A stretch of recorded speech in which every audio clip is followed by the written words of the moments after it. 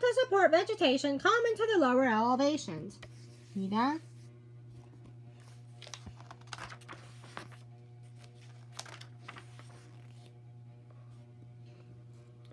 The mushrooms and other fungi on the following pages are all found in the moist hardwood forest of the southern Appalachians. Of the 12, only the jack-o'-lantern is poisonous, but a few are particularly palatable. They perform an essential function, however. Fungi plants without chlorophyll are important garbage recyclers of the forest.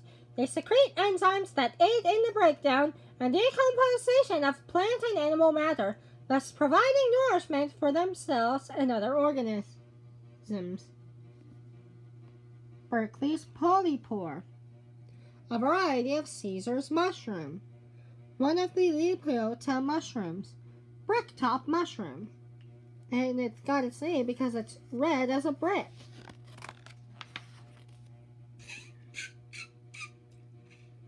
Copper Coker's Amanita mushroom. Chandra Hypergoris mushroom. And Amanita is one of the villains in the Without Me dance from Just Dance 2021, if you saw that. Jack-o'-lantern mushroom. And these ones are poisonous. Ret reticulate stemmed bolete. Chicken mushroom. Record! Lycogala epidendrum slime mold. Broad-gilled Collybia mushroom. Witch's butter jelly fungus. Let's get the page. A vole shrinks defensively into its burrow in the glare of a photographer's flash. Bred to nearly near every carnival, mammal, bird, or reptile in the southern Appalachian woodlands, the vole seldom lives more than a year, but maintains a species population with a phenomenal reproductive capacity. It can have as many as 17 litters in one year. Here's the vole.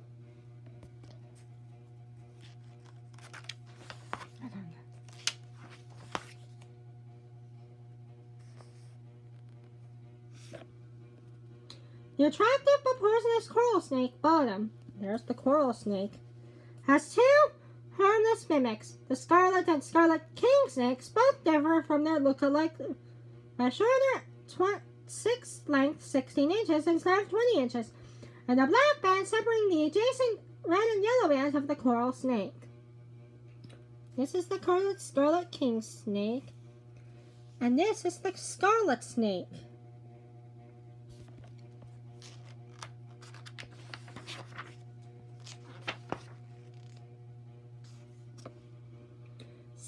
Terrain, an adult bear looks down from the fir tree.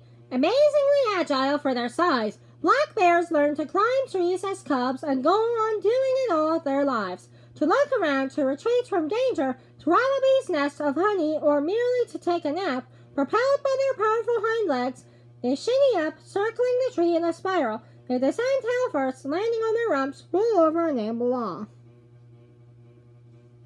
Here's the bear.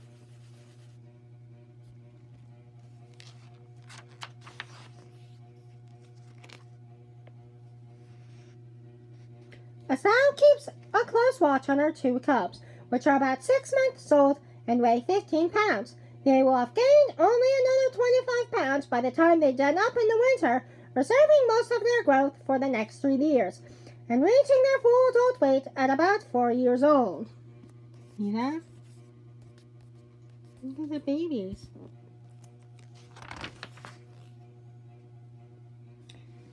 Sensing danger, a sow stands guard while her cub scampers up a tree. There's the cub. There's the mom. A cub scratches for morsels among rocks and rich July foliage. Really relaxed on a precarious perch, a cub dozes in the sun. Standing lazily upright on its hind legs, a six-month-old bear cub licks crushed insects from its paws while under the surveillance of its mother.